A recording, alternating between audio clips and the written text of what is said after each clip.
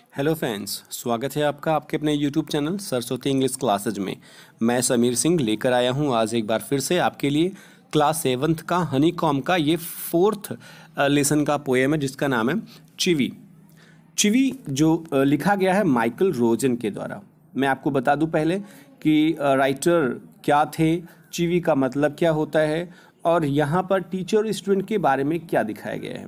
तो सबसे पहले हम बात करते हैं माइकल वेन रोजन के बारे में, जो 1946 में पैदा हुए थे। अभी तक ये जीवित हैं और ये बच्चों के लिए पोएम लिखा करते थे, यानी कि ये चिल्ड्रंस ऑथर थे, चिल्ड्रंस पोएट थे। और टीवी में भी ये प्रेजेंटर के रूप में, पॉलिटिकल कॉलमनिस्ट के रूप में भी बहुत ही प्रसिद्ध थे। तो ये हैं हमारे राइटर, हमारे पोएट, जिन्होंने ये चिवी नामक पोएम लिखी हुई है।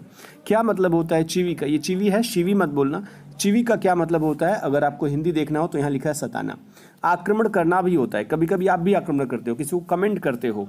आपका जो कमेंट होता है, वो आक्रमण के रूप में आता है, लेकिन जब वो टीचर आपको समझाते हैं तो वो समझाना होता है। आपको गाइडलाइन करना होता है। आपको बताना होता है कि अभी आप छोटे हो, आपको ये काम नहीं करना चाहिए। लेकिन हम छोटे होते हैं तो हमें ये बात बुरी लगती है। हमें लगता है कि टीचर हमें परेशान कर रहा है। हमें सता रहा है, हमें रोक रहा है, हमें टोक रहा है बट ऐसा नहीं होता है। इसकी एक और इंग्लिश होती है नैग नैग का भी मतलब होता है रोकना, टोकना, आक्रमण करना, सताना। लेकिन ऐसा बिल्कुल नहीं होता है। भले टीचर नाराज़ होकर के एनाइंग होकर के आपको कुछ कह रहा हो करने के लिए, आपको रोक रहा हो कुछ न करने के लिए, लेकिन फिर भी आपको वो समझना चाहिए, क्योंकि वो आपके भलाई के लिए करता है। ये है समरी इस स्टोरी का। मैं आपको समझा दूँ कि ये पोएम जो है ना, ये पोएट के साथ खुद ऐसा होता है, जो हमारे रोजन महोदय है, जिनके बारे में, जिन्होंने लिखा है इस पोएम को, वो खुद जब पाँच साल के थे तो उनकी माँ ने उनको पास के स्कूल में भेजा प्राइमरी शिक्षा के लिए। तो आपको पता ही होगा आप परिचित होंगे कि आपके जो टीचर्स होते हैं प्राइमरी स्कूल के, वो बड़े सख्त होते हैं। उनके रूल्स भी बड़े सख्त होते हैं स्कूलों के भी रूल्स बड़े सख्त होते हैं। वो सबके साथ ऐसा होता है, चाहे वो अच्छे बच्चे हों, चाहे वो बुरे बच्चे हों। लेकिन यह क्या बताया जाता है आपको? क्या ये रूल्स आपके लिए अच्छे होते हैं, आपके लिए सेफ़ होता है? क्या आप वहाँ पर अपने आप को महफूज पाते हो?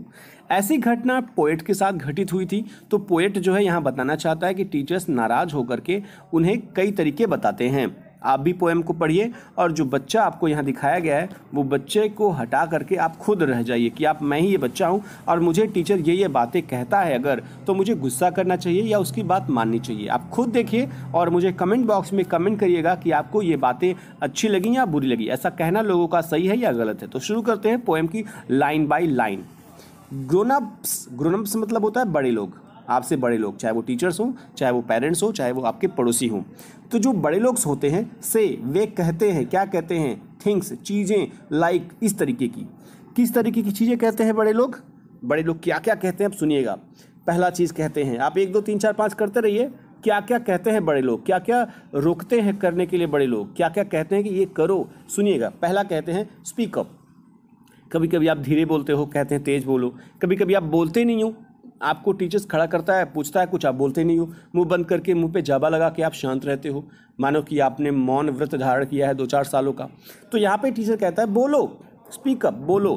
धीरे बोल रहे हो तो तेज बोलो, नहीं बोलो तो बोलो।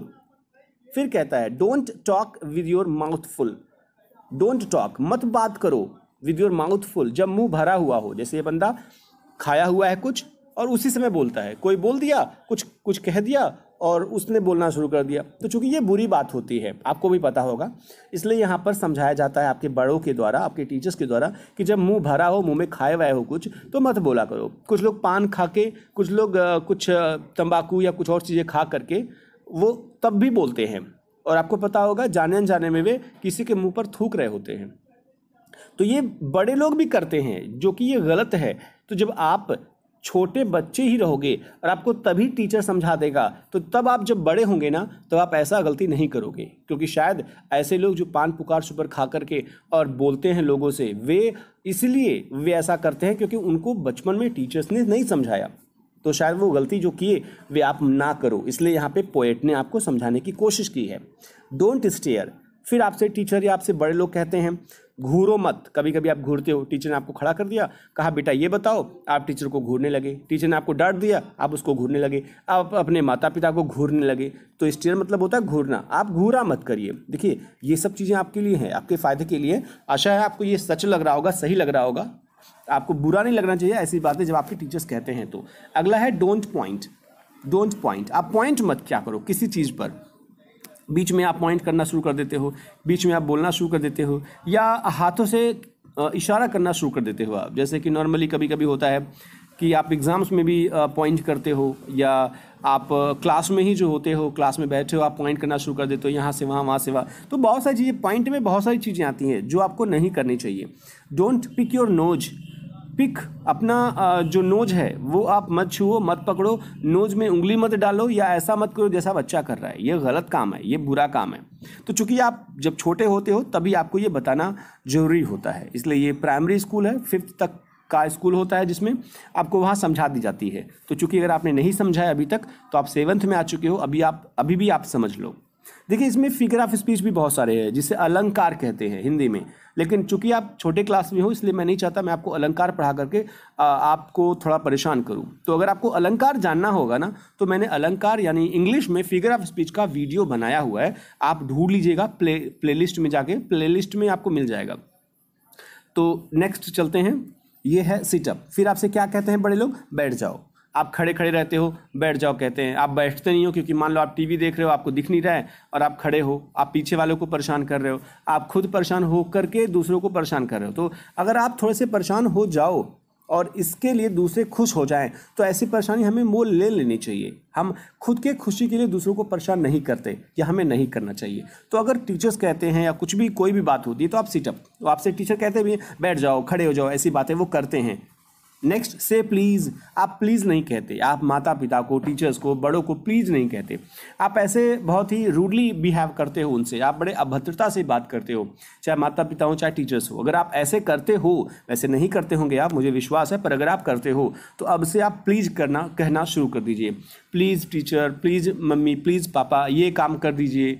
अगर आपको बुरा भी कुछ बातें हो ना, कहना अगर, जो बुरा लगने वाला हो सामने वाले को, अगर आप प्लीज़ कह दोगे तो शायद वो मान जाएगा। क्योंकि शब्दों की इतनी ताकत होती है ना, वो किसी को भी आपके सामने झुका सकता है।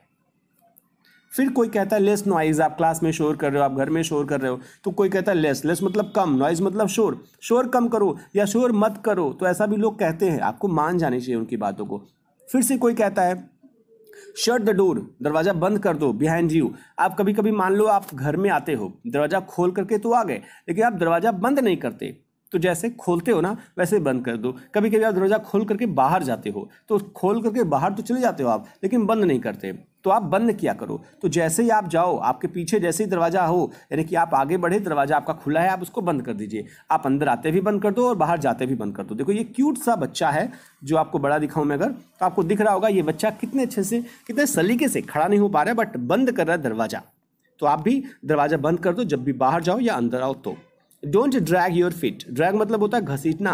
अपने पैरों को मत घसीटो। कभी कभी आप बैठे होते हो, पैर रगड़ना शुरू कर देते हो, पैर घसीटना शुरू कर देते हो आप, या पैर हिलाना शुरू कर देते हो आप तो ऐसा मत किया करो। अपने पैरों को रगड़ो मत, घसीटो मत, हिलाओ मत। Haven't you got a hanky कभी कभी आप ऐसे छींकना शुरू कर देते हो। आपके पास कुछ नहीं है तो आप पानी पीने गए, आप अपने कपड़े में ही पोछ लिए अपने मुँह को, अपने हाथों को पोछ लिए। किसी में भी आपको लगता है कि जैसे कि कपड़े हमारे रुमाल है, हमारे दस्ती है, हमारे हैंकी है, हमारे हैंकर चीफ है तो ऐसे बिल्कुल नहीं करना चाहिए। तो टीचर्स आपसे कहते हैं, क्या तुमने अभी हैंकी नहीं लाई? क्या तुम हैंकी नहीं लाए अपना? या तुम अपनी हैंकी नहीं लाई? अगर नहीं लाई तो लेकर के आया करो? ये हैंकी रुमाल अपने साथ लिया करो। जब भी स्नीजिंग हो, कुछ और करना हो, आपको अपने माउथ को वाइप करनी हो, पोछना हो तो आपको इसका यूज़ करना चाहिए। आपको पोछना चाहिए हैंकी से, रुमाल से। तो क्या तुम नहीं लाए? अगर नहीं लाए तो अब से लाना शुरू कर दीजिए आप। आपके पास अगर नहीं होता तो आप भी लाना शुरू कर दीजिए। Take your hands out of your pockets देखो, छोटे से बच्चे क्यूट से बच्चे से इसको आप अगर देखें ध्यान से तो ये अपने दोनों हाथों को अपने पॉकेट के अंदर रखा हुआ है।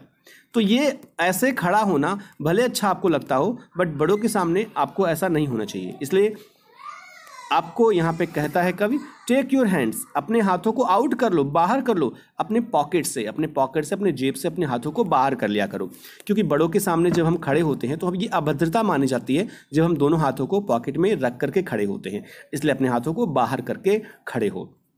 फिर से कभी आपसे कहता है, फिर से आपको लोग समझाते हैं, पुल योर सॉक्स अप। कभी कभी आपके सॉक्स अप नहीं होते हैं, ऊपर नहीं होते, नीचे होते हैं तो सॉक्स को जैसे ये बच्चा जो है, वो ऊपर कर रहा है, ऊपर की तरफ़ खींच रहा है, आप भी जितना सॉक्स ऊपर होता हो, आप पूरा ऊपर तक सॉक्स को कर लिया करिए, उसको ढीला मत छोड़ा करिए।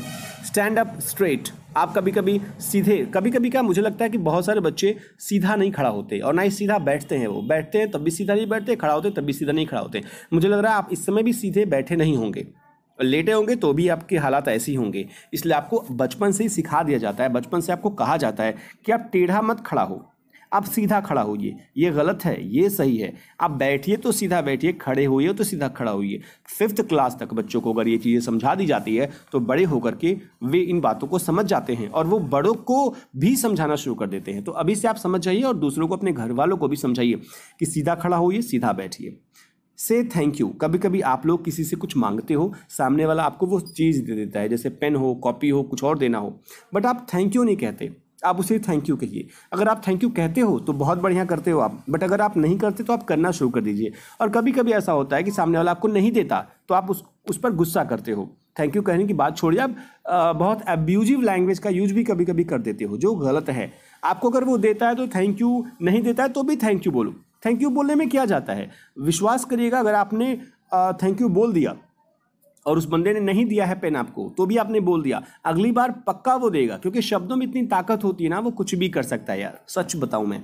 तो थैंक यू बोलना सीख लीजिए आप, कुछ भी, मम्मी, पापा, कोई भी हो आपसे बड़ा बड़ा हो, छोटा हो थैंक यू बोलिए। चाय कोई आपको दे रहा है थैंक यू बोलिए। आपको खाना कोई खिला रहा है थैंक यू बोलिए। पानी पिला रहा है थैंक यू बोलिए। जो कोई आपके लिए कुछ भी कर रहा हो माँ बाप भाई बहन कुछ भी कोई कर रहा हो आपके लिए से थैंक यू आप उनसे थैंक यू बोलिए। बोलिए, ऐसा नहीं स्लेट पर लिख करके दिखाइए, आप बोलिए, ठीक है? डोंट इंटरप्ट कभी कभी बड़े दो बात कर रहे होते हैं कभी कभी भाई बहन बात कर रहे होते हैं कभी कभी टीचर्स बच्चे, किसी और बच्चे से बात कर रहा है, आप बीच में इंटरप्ट करते हो। इंटरप्ट मतलब होता है दखल अंदाजी देना, यानी कि बीच में कूदना, बीच में टांग अड़ाना। आप बीच में टांग अड़ाते हो टीचर चिल्लाता है, चुप रहो, तुमसे बोला मैंने। लेकिन आप फिर भी बीच में टांग अड़ाने की आदत आपकी बहुत पुरानी हो चुकी है, आप छोड़ते नहीं इस चीज़ को। तो ये गलत बात है। आपको आपको इंटरप्ट नहीं करना चाहिए। आपको किसी के बीच में बोलना नहीं चाहिए, ठीक है? डोंट इंटरप्ट मत दखल अंदाजी दो किसी को। No one thinks you are funny कोई नहीं सोचता कि आप बड़े फ़नी हो। देखो, फ़नी का दो मतलब होता है। एक होता है कि कोई आपको समझता है कि बड़ा स्मार्ट है, बड़ा हैंडसम, बड़ा क्यूट बना बड़ा औसम टाइप का बंदा है, बड़ा हीरो टाइप का बंदा है। आप अपने आप को हीरो मानते हो। और आपको लगता है कि जो आप किसी का मज़ाक कर रहे हो किसी क्लास में, किसी क्लास में अपने कलिग का, अपने बच्चे का, अपने क्लासमेट का किसी का मज़ाक कर रहे हो, और सब लोग आपको देख करके हँसते हैं क्योंकि आप मज़ा ले रहे हो उस बच्चे का। आपको लगता है कि वो बच्चे मेरे कारण हंस रहे हैं, यानी कि मैं हीरो बन बन चुका हूँ, बड़ा हैंडसम बड़ा क्यूट बड़ा शानदार बच्चा हूँ बट ऐसा गलत है। आप उस बच्चों के लिए, जो बच्चे क्लास में हैं, उन बच्चों के लिए आप मज़ाक का पात्र हो। आप पर वो मज़ाक कर रहे हैं। जो आप कर रहे हो ना किसी और का मज़ाक, वो आप पर मज़ाक कर रहे हैं, वो उस बच्चे पर मज़ाक नहीं कर रहे जिसका आप मज़ाक कर रहे हो। यानी आप किसी का मज़ा मत लिया कीजिए। आपको लगता है कि आप बड़े फ़नी हो, आप बड़े मजाकिया हो, आप बड़े खुश मिजाज हो, आप हीरो हो क्लास के, ऐसा बिल्कुल नहीं है। ऐसा कोई नहीं सोचता। आपको दूसरों के बारे में सोचना चाहिए, दूसरों का मज़ाक नहीं उड़ाना चाहिए। अगर आप किसी का मज़ाक नहीं उड़ाओगे तो आप भी कभी भी किसी के मज़ाक का पात्र नहीं बनोगे, आपका भी कोई मज़ाक नहीं उड़ाएगा।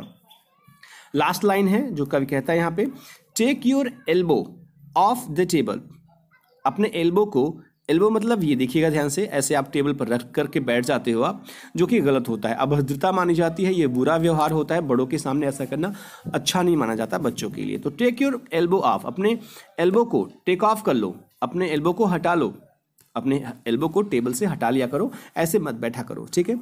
नेक्स्ट आप चलते हैं यहाँ पे लिखा है लास्ट जो लाइन है can't you make your own mind up about anything can't you make your own mind कि आप अपने दिमाग को नहीं चला सकते किसी काम के लिए? क्या तुम अपने दिमाग से कुछ नहीं कर सकते? क्या तुमसे कुछ नहीं होता? देखो, बच्चा सोच रहा है। घंटी बज गई है, बिजली जल गई है बल्ब जल गया है बच्चे के दिमाग का। तो यहाँ पे बड़े लोग आपसे कहते हैं, तुमसे कुछ नहीं होता क्या? तुम्हारा दिमाग नहीं काम करता क्या? तुमसे नहीं कुछ हो पाता कि तुम कुछ काम कर लो? तुम कुछ खुद से सोच लो, खुद से पढ़ लिया करो। तुमने कहा कि नहीं सर, नहीं पढ़ाया गया था, कल तो कैसे पढ़ें? टीचर कहता है, खुद से भी कर लिया करो बेटा, बड़े हो चुके हो, क्लास फिफ्थ में हो सिक्स में हो, सेवन्थ में हो। अब खुद से करना सीखो, तुम्हारे पास दिमाग नहीं है तुम खुद से करो। कोई कहे तभी करोगे। कुछ काम खुद से करना चाहिए। कोई कहे तभी करना चाहिए, ये गलत है। ठीक है?